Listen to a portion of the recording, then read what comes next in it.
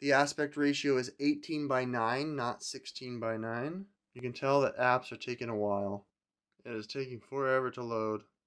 It's a race against time, my friends. Oh, the $20 phone's gonna win. Yep, $20 phone's gonna win. Got a quarter of the quarter of the way there. Oh, it stopped at the end. Who's gonna be first? oh my gosh. Am I gonna beat it? my iPhone beat it. oh man, I can't believe that. That and it's still loading while I'm playing. Here we go. Okay.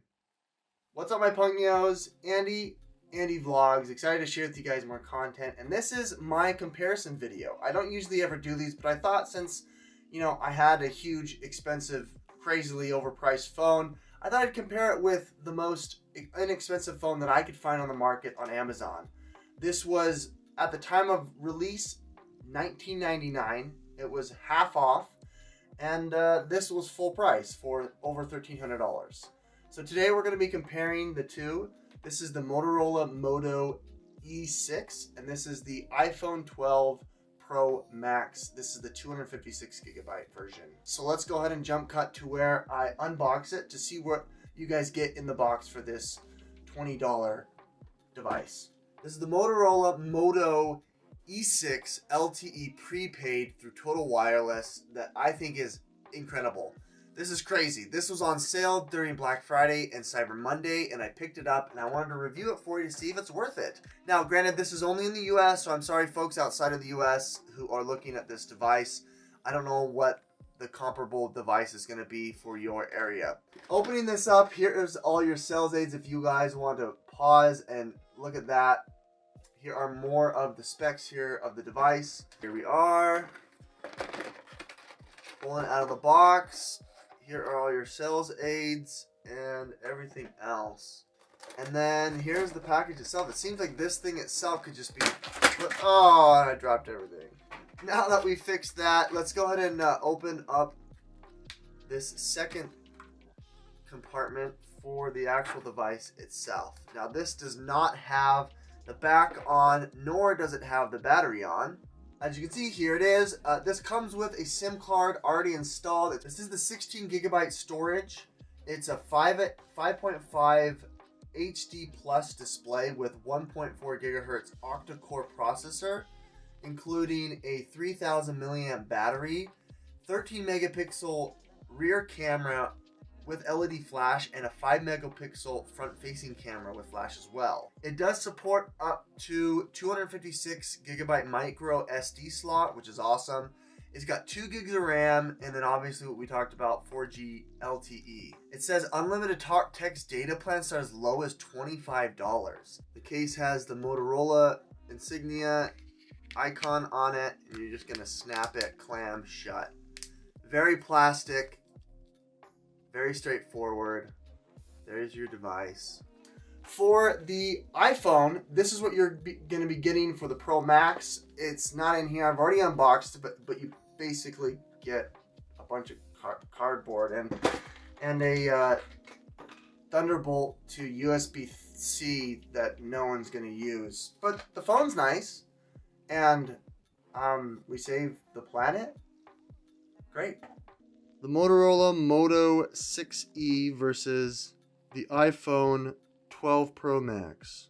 $20 phone starting at like $1,100. I ended up paying 1,300 because I got higher storage. This phone is a 5.5 inch display diagonally. This is a 6.9 or 6.6, I don't know.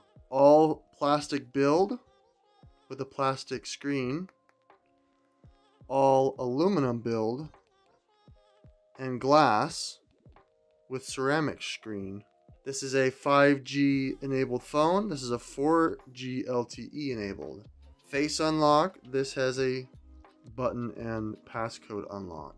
This has like 200 nits of brightness. This has like double that, 400 or more. UHD HDR screen. This is a 720p screen front facing camera. This is a 5 megapixel front facing camera, This is a 12 megapixel front facing camera. Rear facing camera, there's three cameras. Tele, wide, ultra wide. There's a single wide camera that is, I believe, a 12 megapixel or 16 megapixel. This has a speaker grill on the front and on the bottom of the iPhone with a, a lightning bolt cable. The E6 has a micro USB. This does not have a headphone jack. This has a headphone jack. This does not have external storage. This has up to 256 external storage. The iPhone is slick, it's quick, it's bright, and it gets your job done. You have all of the games and apps in the App Store. Sometimes it takes two hands to control. This is iOS 14. It's got the A14 chip. This uses stock Android with a few Moto Motorola apps. I've gone ahead and disabled all of them. You have all of the Google stock apps that are there then a myriad of games and other apps that you have access to from the Play Store. You've got on screen buttons for multitasking, home, and back. It's very slow. It takes a while to load apps, to scroll, to buffer. There's no dedicated gallery app. You have to go through Google Files to look at your pictures. They have a few apps that you can tell are advertisements that I ended up deleting like Wish and other apps. This is an all-around really good phone for 20 bucks. Integrated Google Assistant. It does go into full screen mode. The aspect ratio is 18 by 9, not 16 by 9. It is taking forever to load.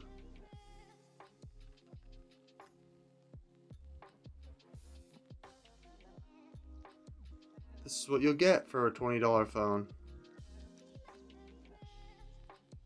By the time this loads, I'll probably be able to download it on the iPhone. Whoops, that was Genshin Impact. Oh, the $20 phone's gonna win. Yep, $20 phone's gonna win. Oh, it stopped at the end. Who's gonna be first? Still generating. I'm halfway done on the iPhone. Oh, Minecraft's done on iPhone.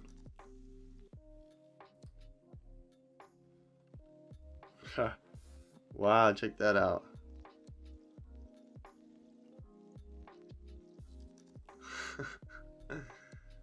Oh my gosh. Am I gonna beat it? my iPhone beat it. oh man, I can't believe that. That and it's still loading while I'm playing. Here we go. Okay. I bet I can make a house by the time it loads. There it is. Oh, welcome. Yes, we did it. Alright, let's see how this plays on a $20 phone. Okay, whoa, I'm actually really impressed. It plays decently well. I mean, I wouldn't, I wouldn't join any servers and play like mad PvP. I mean, look at that lag on the blocks. Check it out. yeah. I mean, that's basically the difference between the two.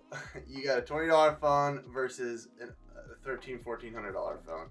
Let's go ahead and show you guys the cameras themselves and the pictures uh, and see what you guys are getting yourself into. I'm to do a side-by-side -side comparison of the two.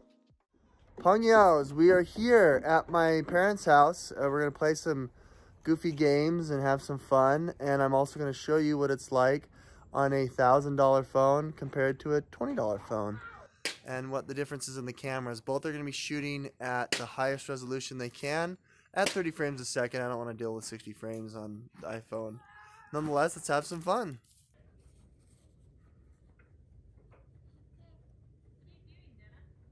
I've got this abomination where I've got the phones stacked on each other, so it's not the perfect, but It, it looks all right.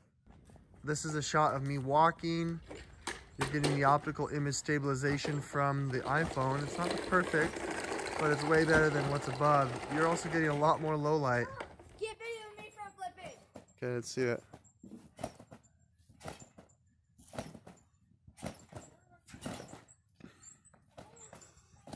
The color technology is different. It's a lot more pink and purple on No. the Moto phone. On the iPhone, it's actually a little more green. Titi, what are you doing? She's trying to get something.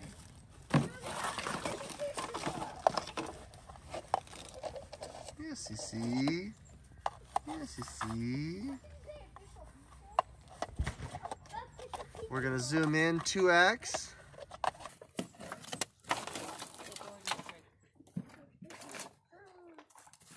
There's a 2x zoom. There's my beautiful wife. There we go.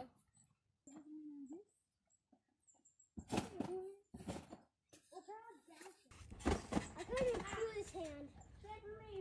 Dad. I'm gonna zoom in as far as I can.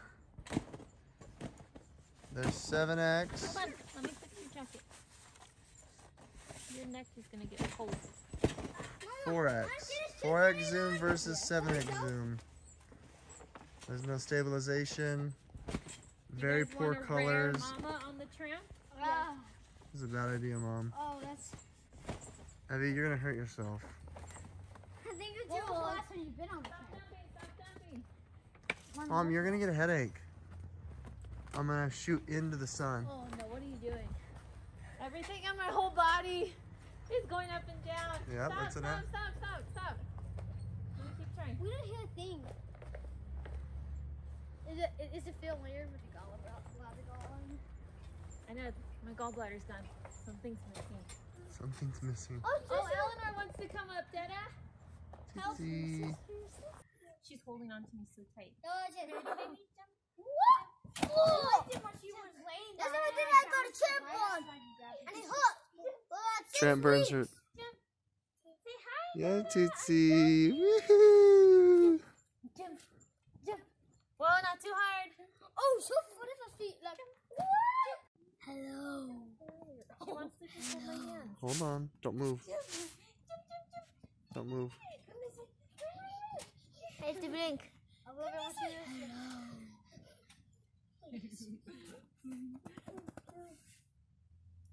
Hello.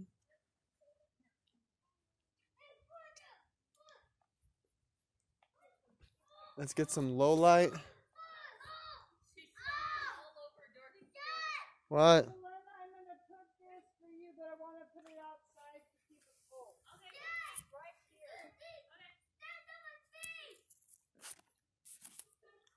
It's a lot of that are blown out.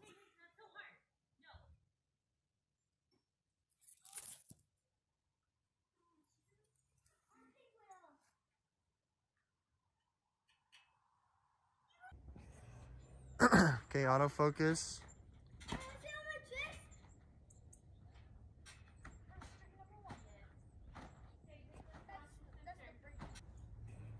Okay, let's try the autofocus again. I don't think that is quite in focus.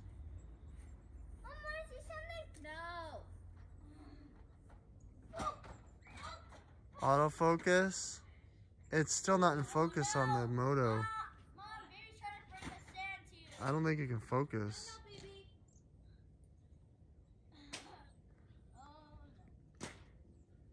I mean, it's like, it's immediate on the iPhone. Go TT. Good job, Mama. Yeah. Should we go see Nan and Papa? Say bye bye. Bye bye outside. Bye TT. Oh, you want to go back? Okay, okay. Okay, okay. The colors are distinctly different here on the front facing camera. You've got a lot of just poor contrast on the Moto. On the on the iPhone, it looks really good.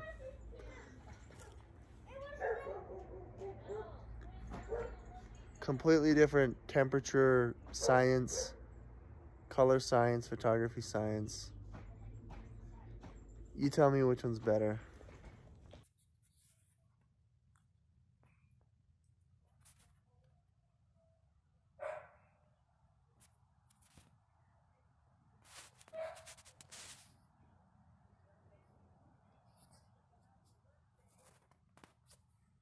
So Pangos, uh, just some initial thoughts on this. The the color science is way off.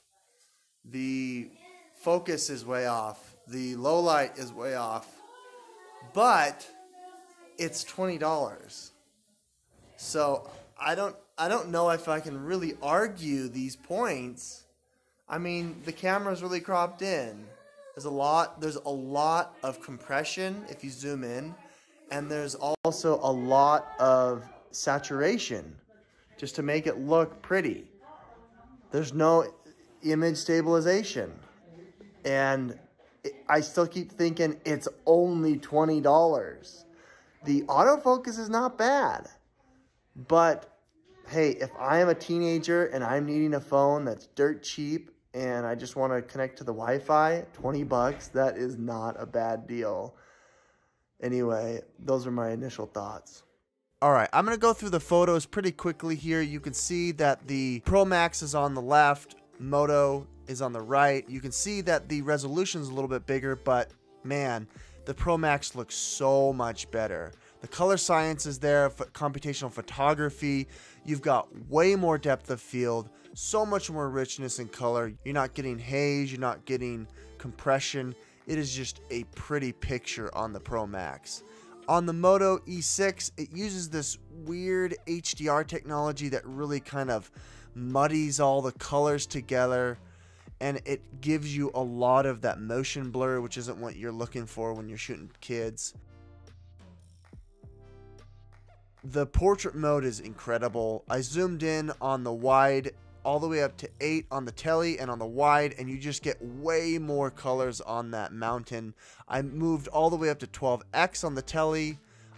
This is low light situation. You're getting way more depth, a lot more richness in the darks and the lights. Here, you're actually getting some bokeh when I'm zoomed in on that tree. And this is the most revealing of it all. The iPhone depth of field is amazing. Front facing camera is way better. They muddy it all, and the resolution's garbage on the Moto 6. Here's some landscapes. You don't even have any of the colors of the mountain. now this is the best. That rig is so gross. I cobbled together a few things, and that's what I ended up with. Pongios, well that's it. Hopefully that was a good breakdown for you guys and help you decide which phone to get. But honestly, I am really, really impressed with this Motorola Moto E6. It was really just a buy on a whim.